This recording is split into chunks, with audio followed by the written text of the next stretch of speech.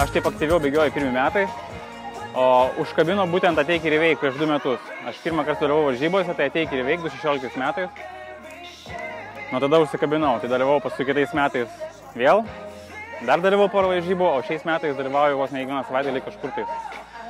Tai va tas ateik ir įveik mane, kaip sako, pažadino bėgimui.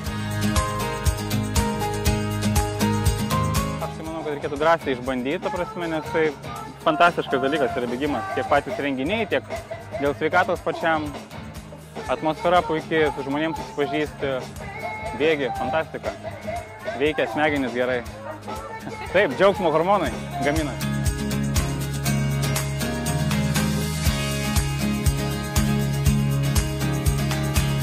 Prasta bėgikė iš manęs, tai kiekviena įveikta trasa man jau tas toksai pliusas.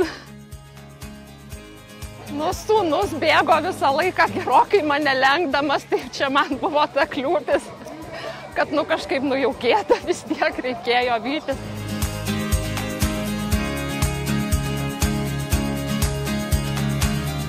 Jau treti metai iš eilės kaip dalyvaujam. Tai Labai smagus bėgimas. Ką žinau, specialių nėra treniruočių, šiaip kiekvieną dieną treniruojamės realiai. Tai kažko specialiaus, ta prasme, nesiuošiam. Ta siena, kur ta trafaretas žmogaus. ta prasme, Ten. Ir su maišu iš tikrųjų buvo sunku, bet su trafaretu ir bėgi ir jau maždaug turi pozą pasirinkti tinkamą. Bet su maišu gal sunkiausia iš tikrųjų jo buvo. Nepratėm maišuose bėgioti.